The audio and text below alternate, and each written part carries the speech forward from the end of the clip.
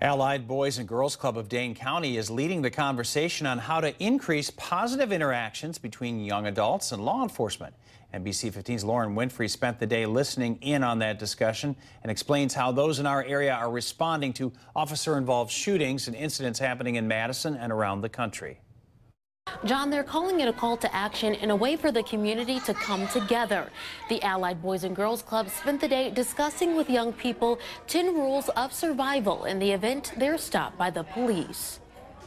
Now, Richard Harris is the executive director of Vision Beyond Bars, and he also works to train police officers on the issue of unconscious bias in Madison and the surrounding areas. He says creating a space for youth to speak openly about their experiences is timely and much needed, especially after the two most recent police shootings involving African American men.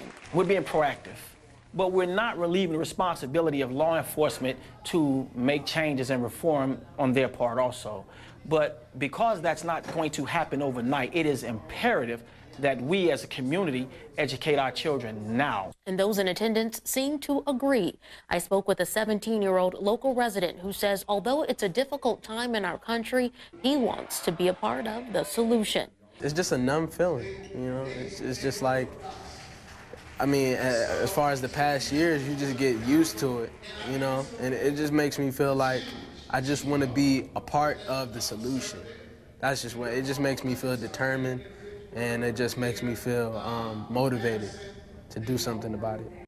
Harris led the discussion today, stressing the importance of positive communication skills for children and young adults and compliance, especially during police encounters. Event organizers say the importance of this discussion is to increase the chances of young people walking away from encounters with the police with their freedom, their self-respect, and most importantly, their life.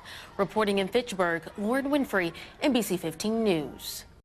Lauren, thanks. Those community leaders stressed the importance of continuing the conversation. They plan to schedule more discussions in the months to come.